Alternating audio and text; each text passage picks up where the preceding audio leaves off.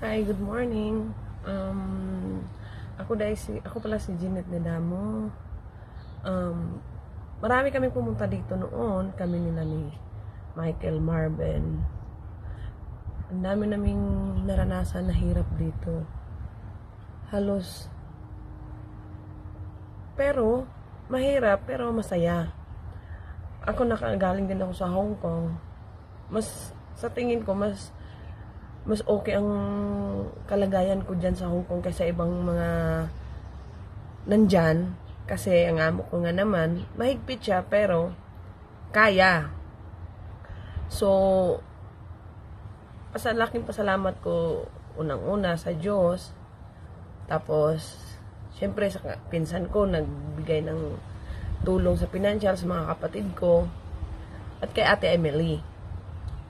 Yung, ang, kasi hanggang sa na-PR ako, tinulungan niya ako. Malaking bagay yun. Kahit sabihin pa natin naglabas tayo ng pinan pera. Which is, pag nandito na kayo, lalo na kasama nyo ang pamilya nyo, masaya, masarap. Yung, as alam mo yung hirap na dinanas mo noon, iba. O nga naman, um, sabihin na natin, dito wala kang time. Nasa sa inyo yun kung ayaw yung kung gusto niyo ng trabaho ng trabaho.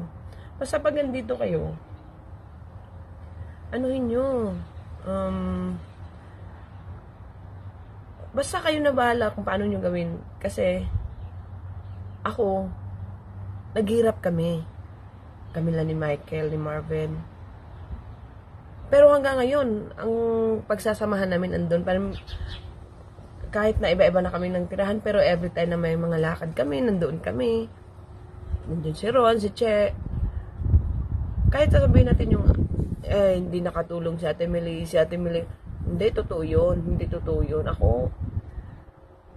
unang-una bumi, bumili, unang buwan namin dito, halos wala kaming makain, pero nakasurvive kami hanggang sa ngayon. Basta ang sarap yung hawak mo buhay mo kaya ang laki ng pasalamat ko kay Ate Emily. Hindi ka, basta hanggang ngayon, nag-ano pa rin ako kay Ate Emily. Tumatawag minsan, nagko-contact. Lalo na pag may kailangan. Alam ni Ate yan.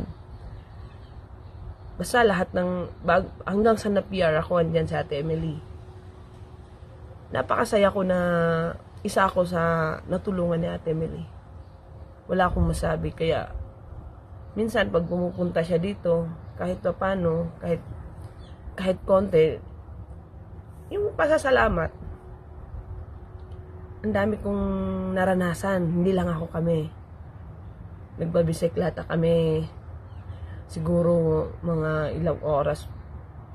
Everyday nagbibisikla, minsan naglalakad kami sa snow, nag, nag, kasi nga, pag bisikleta, hindi naman nagagamit sa snow.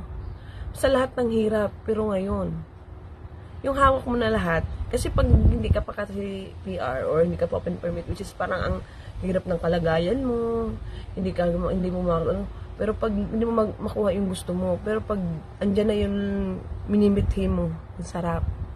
Kaya kung ako sa inyo, try nyo. Try nyo magpatulong ka, Emily.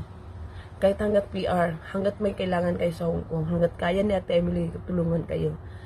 Kaya, ewan ko na lang sa mga taong hindi na kasi may mga ang iba kasi iba kasi ang nasa utak eh. Pero ako salamat ang kay Emily.